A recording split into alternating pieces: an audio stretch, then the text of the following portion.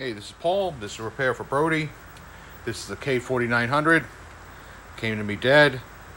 It had some physical damage on the board, a few cracks I replaced, I fixed. I had to replace the width coil. It was shot.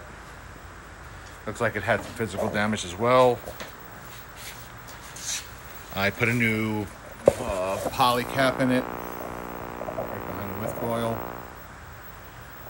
Looks like it uh, got warped a little bit too uh, from uh, some type of damage. So we want to be careful with this one when we install it. As you can see here, I repaired all the cracks.